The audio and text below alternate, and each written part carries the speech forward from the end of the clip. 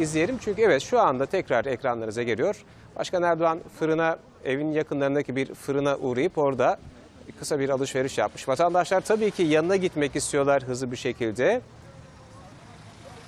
Evet.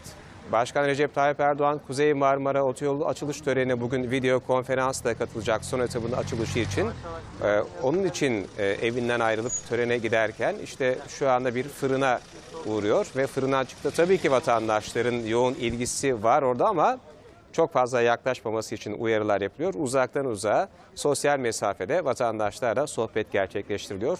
Başkan Erdoğan ve daha sonrasında ise Kuzey Marmara Otoyolu'nun son etabının açılışı için video konferansa katılacak ve şu anda da tören için ayrılıyor yerinden.